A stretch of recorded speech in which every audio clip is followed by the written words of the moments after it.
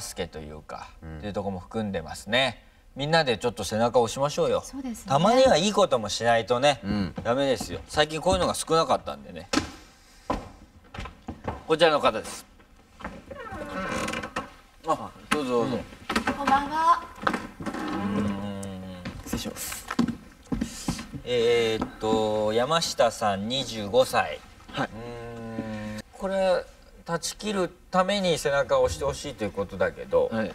なんか思い出の品とかあ。捨てれない写真とかそういうのもある？あ持ってきました。これなんですけど。なんだ？赤い箱にこれ開けちゃっていいんですか？あ大丈夫です。何が入ってるんでしょあ。お写真ね。う写真ですね。なるほど。二人で撮ったやつだ。そうです。あそういえばすごい綺麗な子ですね。かわい。いいい。はい。かわい。いああそうだね。これは何ですか？これ誕生日にもらったピアスです。あもらったやつ、はい。プレゼント捨てられないと。なるほどね。くれたんだね、はい。やっぱり持ってたら忘れられないんじゃないかなと思うんですよ、はい。消去してほしいですね。もそうか。う二度と手に入らないような状況に。わかりました。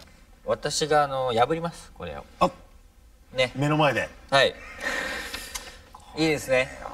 うん。逆恨みなしよ。大丈夫ですやめてよ名古屋駅で待ち伏せして。ドンキのようなもので。やめてよ。大丈夫ね、はい。じゃあ分かりました。破ります。321じゃあ言ってごらんなさい。うん自分のタイミングで。三二一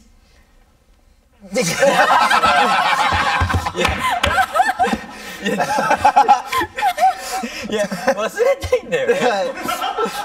ついてた顔がこうやって忘れたいんだよね。自分自でやるか。分で。やっぱ男だから自分で破ったんだ。自分の足で前に進むんだ。